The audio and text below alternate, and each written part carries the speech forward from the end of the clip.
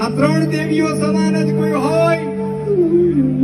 તો આ દેશ માટે થઈ શહીદ થનારા વીરની માતા, એની બહેન અને એની પત્ની અમારે મન મહાકાલી, મહાસરસ્વતી અને મહાલક્ષ્મી છે. મહાકાલી, મહાસરસ્વતી મહાલક્ષ્મી છે. અમે એના પગને પૂજીએ છીએ. અમે એને વંદન કરીએ છીએ.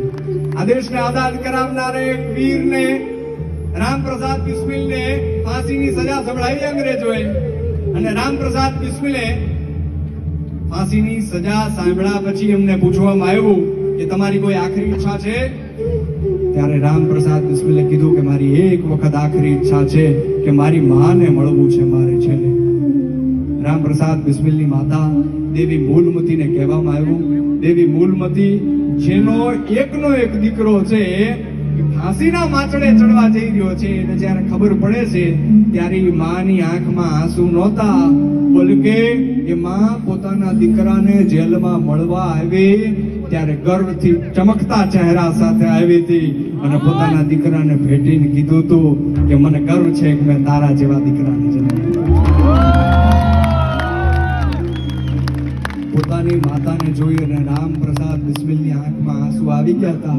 અને ત્યારે દેવી મૂલમતીએ પ્રશ્ન કર્યો કે, દીકરા, બેટા, તારી આંખમાં આંસુ? તું જે માર્ગ ઉપર નીકળો તો આ દેશને આઝાદ કરાવવાના. એ માર્ગનો અંત તો આ જ હતો, મૃત્યુ જ હતો. તને ખબર નહોતી? મૃત્યુનો ભય છે તને? મોતનો ડર છે? મારા દીકરાને? અને ત્યારે રામ પ્રસાદ બિસ્મિલે કીધું હતું કે, માં હું તારો દીકરો છું.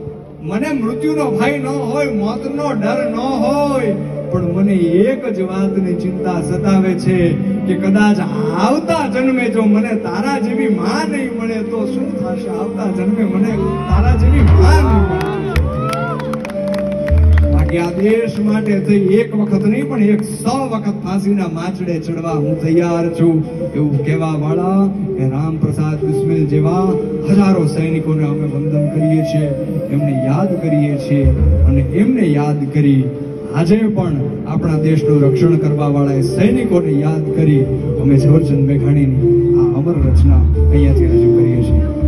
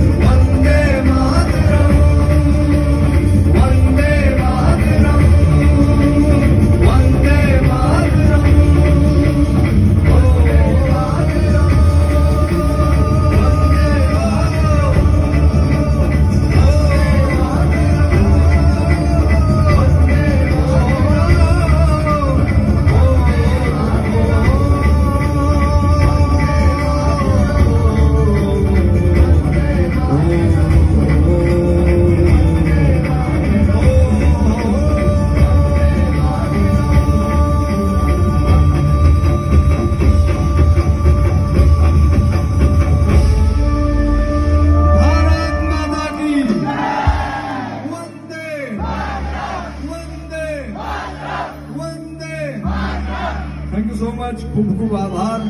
વડોદરા શહેર તમારો ખૂબ ખૂબ આભાર.